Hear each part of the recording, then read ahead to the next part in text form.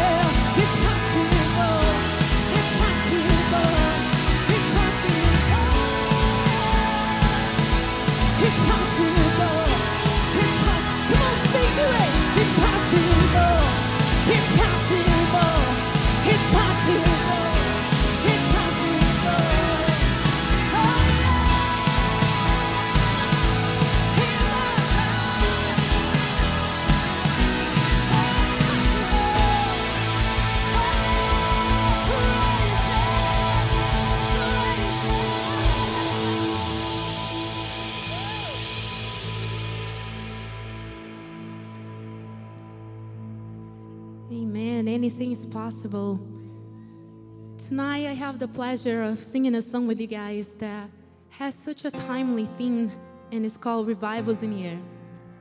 And in the last couple of weeks, we've seen this word revival just being thrown around so often, and that made me realize that there is some misconception about what revival actually means. So I went to look it up, the definition of the word revival I'd like to share with you guys tonight. Revival means an improvement in the condition or strength of something, an instance of something becoming popular, active, or important again. It means comeback, improvement, reestablishment. And I used to think that revivals meant large gatherings where people would come hungry for God and where the move of the Spirit will happen and we will have signs and wonders and miracles. And not to say that revival isn't about that, it is, but it's not just that. Revival may look a little bit different for me and for you. Revival may look like a prodigal son coming home.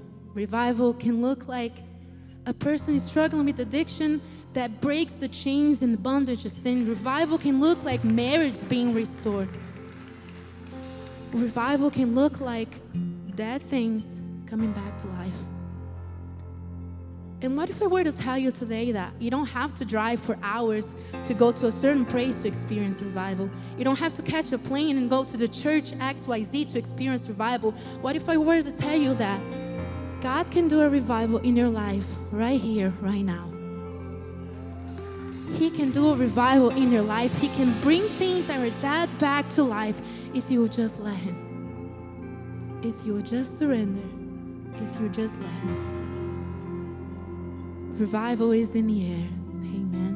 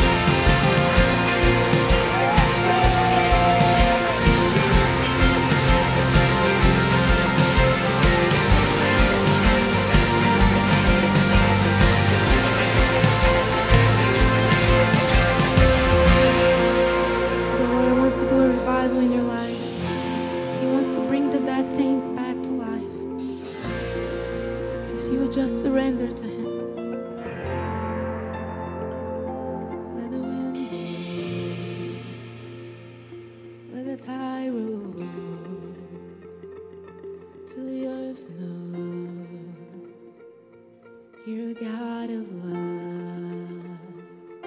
Let my dry bones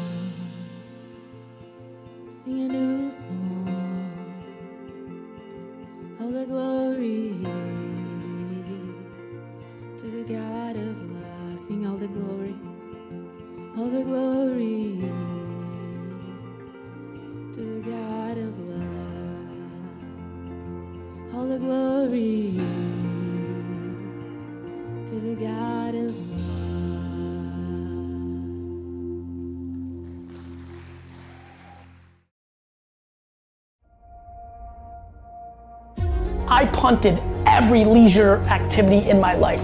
Nothing. No weekends. No vacations. Zero. Nothing. All in. any goal that you want to achieve that's worthwhile in your life require all in effort. If you have this burning desire inside of you, then you just need to go full force and block out all the negativity and everything else that is around you telling you that you can't do it. Come on, guys. Say all in.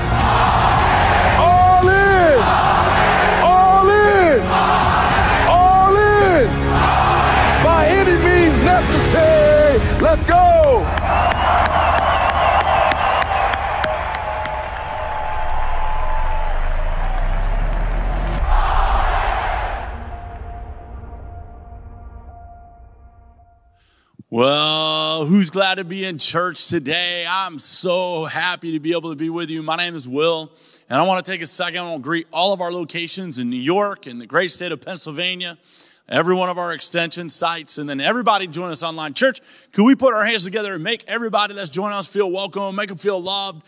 Well, I, am excited because we're coming out of All Access Weekend, and it was an amazing time, a family gathering. It was so great to be with all of you. And I'm encouraged because God is moving. I know that God is calling people and leading people. We're a multiplying movement. It's exciting to be able to gather in that way. Well, today we are continuing in our series entitled All In. Turn to your neighbor, say, All In. Now turn in your Bibles with me to 1 Kings chapter 19, verse 21. We're going to camp out in just one verse today. If you get your Bibles out, if you don't have it, you can download the YouVersion Bible app on your phone and, and, and join along with us. They're going to put it up, as always, on the screen where you can follow along and you can get your notes. You can take out your notes. And on the back side of, of the brochure, there's a place that, that you can write down your notes and, and follow along with us. Well, in this series, I want to kind of recap why we're doing this series. And to do that, I want to jump all the way back to the 16th century where Nicholas Copernicus challenged the belief that the earth was the center of the universe. It's called the Copernican Revolution, and it turned the scientific world upside down by turning the universe inside out. In much the same way, each of us needs to experience our own Copernican revolution the paradigm shift that happens when we come to terms with the fact that the world does not revolve around us. See, the problem is that when we're born as babies, every time we cry, what happens? Somebody comes to respond every time we wet our diapers, every time we have a need. Somebody, and we're reinforced over and over again that we, I, am the center of the universe. And that's fine if you're a six month old baby, but when you're 22, it's a problem. And so here's a news flash. Everybody look right at me. I want you to hear this. You are not the center of the universe. At its core, sinfulness is selfishness. It's enthroning yourself, your desires and your needs and your plans above everything else. You may seek God, but you don't seek Him first. And so, for so many, faith is less about serving his purpose and it's more about him serving our purposes. Many think they're following Jesus, but the reality is this they have invited Jesus to follow them. They call him Savior, but have never surrendered to follow him as Lord. And as we continue in our series today, let me ask the question who is following who? Are you following Jesus or have you inverted the gospel by inviting him to follow you? And it's very possible that you've bought in, but you have not sold out. My greatest concern as a pastor is that people can go to church every week of their lives and never go all in for Jesus. They can follow the rules, but never follow Jesus. And you've cheapened the gospel if you think you can buy in, but never sell out. If it's convenient and comfortable all the time, something is wrong. People can have just enough of Jesus to be bored, but not enough to feel the holy surge of adrenaline that comes when you decide to follow him no matter what, no matter where, no matter when. Well, as we turn in the word to 1 Kings chapter 19, verse 21, we set up this picture where Elijah, one of the great prophets of Israel, comes and he puts his cloak on Elisha. It's an invitation to become the prophet's apprentice. Elisha would have a front row seat to all that God is doing in Israel. And we find Elisha's response in 1 Kings 19 21. Elisha left him and went back. He took his yoke of oxen and slaughtered them. He burned the plowing equipment to cook the meat and gave it to the people. And they ate. Then he set out to follow Elijah and became his servant. Today, I want to challenge you to take a page from Elisha and remove plan B. Let's pray. God, I pray that you're going to help us to hear your words, to surrender our kingdoms, our convenience, our comfort, and follow you first and only. Lord, I pray that you'll illuminate our hearts and reveal our true intentions in the light of your word. In Jesus' name, amen. Well, today I want to talk to you about burning the ships. That's the title of today's message Burn the Ships. Write that down in your notes and then lean in.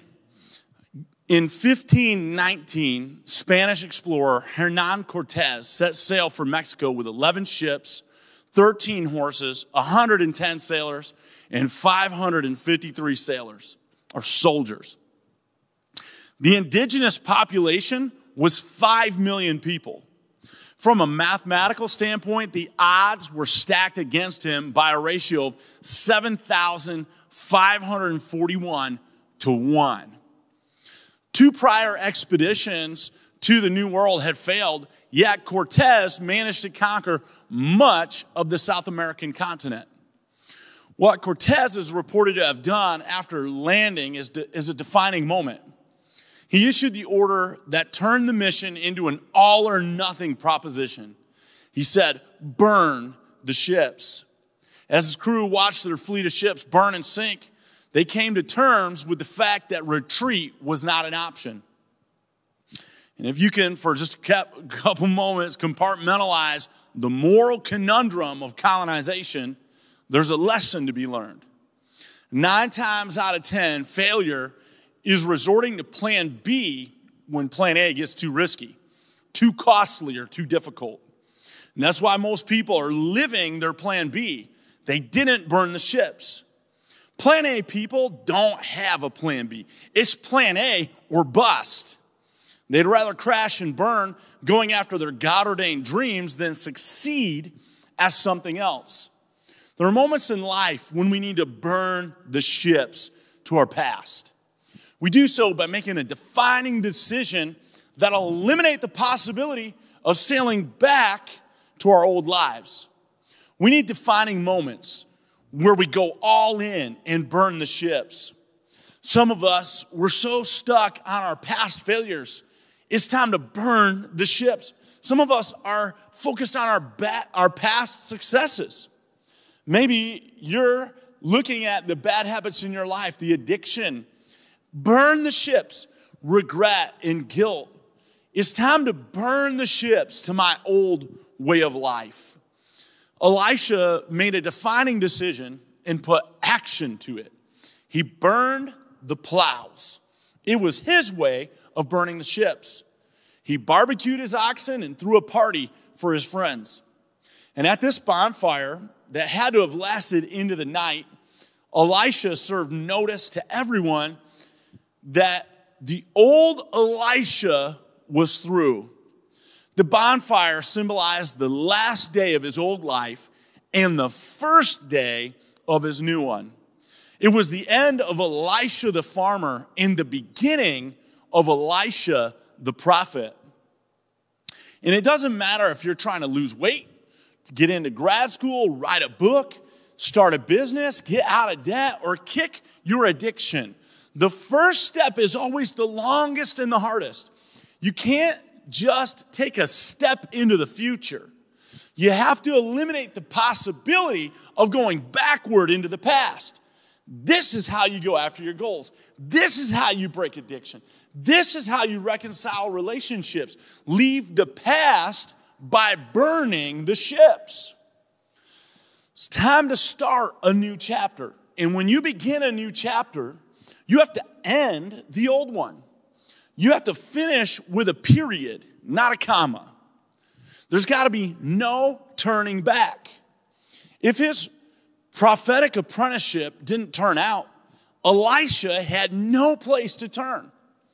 So many make commitments at all access.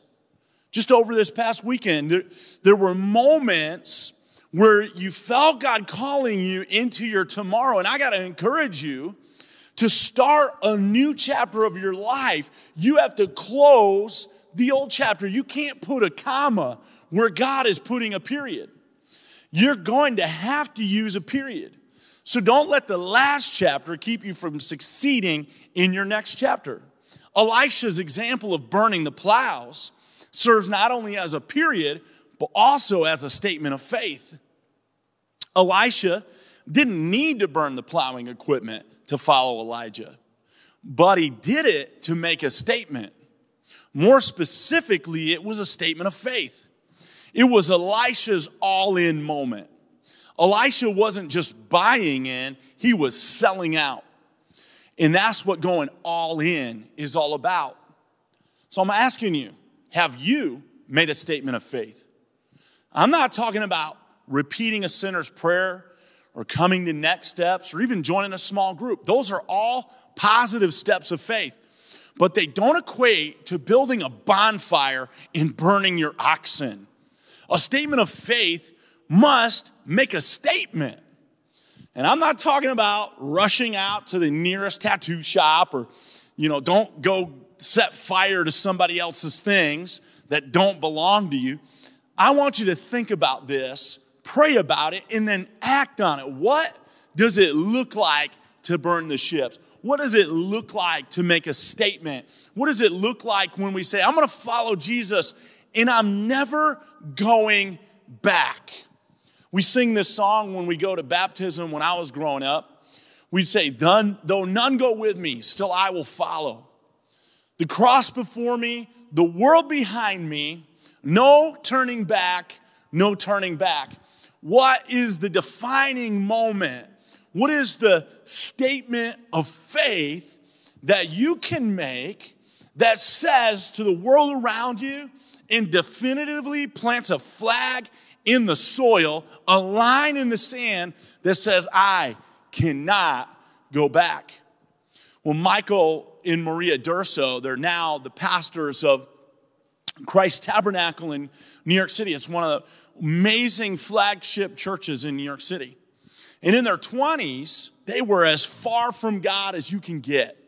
They mocked everything having to do with God, and they were living together, living in addiction. And one day, Maria, while she was away on vacation, came under the conviction of the Holy Spirit. She wasn't at church, she wasn't reading the Bible. She was in a hotel room on vacation, and conviction came out of nowhere. Well, she learned when she came home from vacation that a group of her friends had gotten saved and they formed a prayer circle and were praying and interceding for her at the exact same moment that she came under the conviction of the Holy Spirit. Well, when Michael and Maria Durso returned to New York from their vacation, they stopped sleeping together and they started going to church together. And Michael knew he had to have a defining moment. He, he knew he needed to make a statement.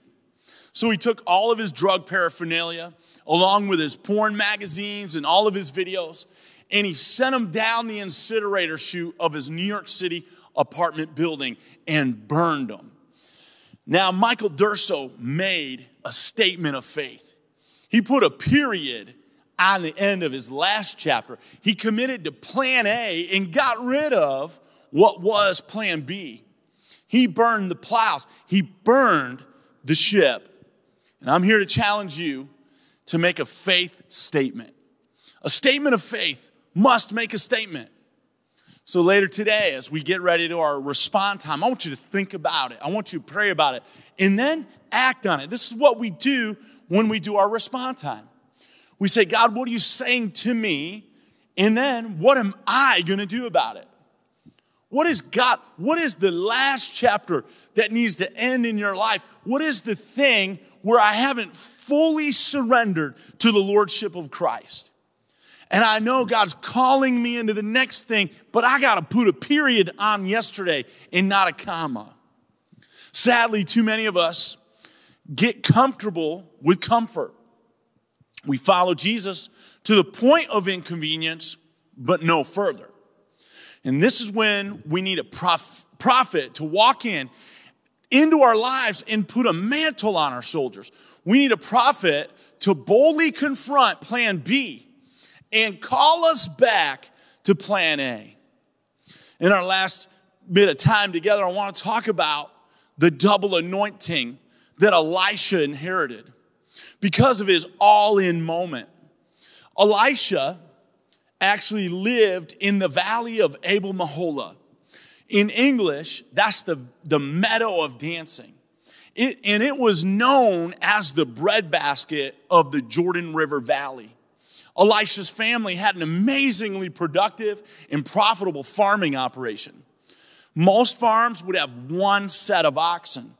As we read in the scripture, Elisha had 12 sets of oxen, and he had the farm hands to plow with. So Elisha comes from wealth. He had all of that to inherit. Burning the plows was more than quitting his job. It was divesting himself of his family share. He was writing himself out of the family will. Elisha walked away from provision, he walked away from comfort, he walked away from success to pursue God's calling. And from the world's perspective, Elisha took a step back in his career. All of his friends could have smirked and talked about Elisha. What's he doing? Why is he giving up such a posh lifestyle? But when Elisha burned the plows and removed plan B, he opened up the floodgates of heaven's anointing. People tend to hedge their bets, not Elisha. He was 100% committed to following Elijah. This gave him the boldness to ask for a double portion of Elijah's anointing, and God granted it. 60 years of prophetic ministry later, and 28 miracles. It was two times Elijah's 14. So, my question is what gave Elisha the boldness to ask for a double portion, the double anointing? And I think it's the simple fact that he was all in. If you give all of yourself to God, you can expect God to give all of himself to you because that's exactly what he wants to do. Elisha could have lived out his entire life in comfort and wealth, and so could you. You could play it safe instead of stepping out in faith. You could protect your reputation instead of risking it. You could keep plowing your fields instead of listening and following the call of God. You might be forfeiting your double portion of anointing. You would miss your miracles. The anointing is the difference between what you can do and what God can do. What you need and what I need more than anything else is an anointing from heaven to unlock what I cannot do on my own. Elisha is one of the great prophets. Elisha was a man of miracles. Elisha raised the dead twice. I want to challenge you don't let plan B keep you from your plan A. Burn the ships. Make a faith statement. When you do, you're going to release heaven's favor into your life, and you release the difference between what you can do and what heaven can do. I want you to pray with me. Jesus, I thank you now that as we get to this moment of response, I believe that you're calling us, you're, you're drawing us to go all in, that we're not going to live lives that are halfway, we're not going to buy into the gospel without selling out. Going to sell out. And I pray now that we could have those moments where we burn the ships, where we burn the plows, where we, we say goodbye to plan B and we cling, there's only plan A. Jesus, we don't ask you to follow us. We're surrendering our lives now to follow you. In Jesus' name, amen. What an amazing message from Pastor Will. We never like to close a service without giving you the opportunity to make Jesus the Lord of your life. For me, everything changed when I made this decision. So if that's you, you want to make Jesus the Lord of your life, then would you say this prayer with me? Let's bow our heads and close our eyes. Repeat after me Jesus, I come to you just as I am and confess my sins to you. I believe you died on the cross for me. I will no longer be bound by guilt or sin. I declare that your sacrifice on the cross has set me free, and I receive you as my Lord and Savior. I repent of my sins and trust in you alone as my hope of salvation. Through faith in your resurrection from the dead, I declare that I am a new creation. In Jesus' name, amen. Amen. If you just said that prayer, we would love for you to fill out your response card so we can help you with your next steps. This is your church home now, and we cannot wait to see you next week.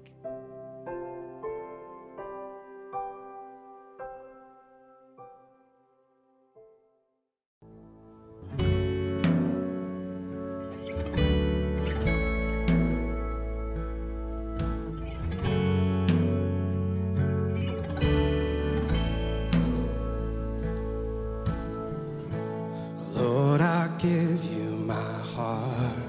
I give you my soul.